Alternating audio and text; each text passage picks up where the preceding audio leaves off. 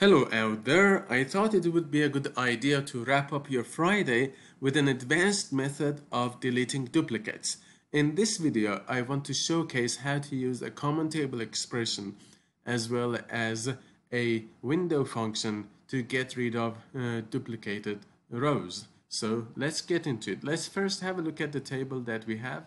I have already created a table with first name, last name, job title, city, and ID and I have added a bunch of duplicate rows into it. Let's have a look at them here and let's drop down here. So as you can see we have a bunch of Mo's, Jacks and Arthurs. So let's get into it. Uh, we are gonna create a CTE with example 4 as here. I'm gonna select ID let's do that here and use a window function here, a row number.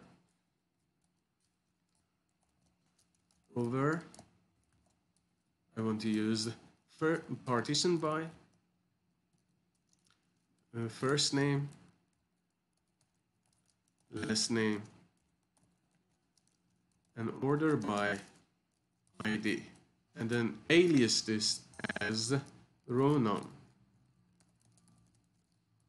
from example 3 then we are gonna go down here and then delete from example 3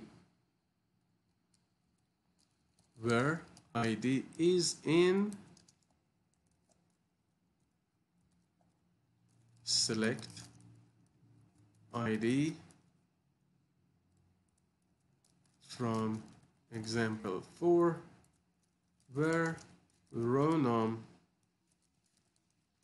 is greater than 1 and we are gonna end our query with a semicolon and then run it. It was run successfully. I didn't get any error here. And now let's have a look at the result. Select all from example 3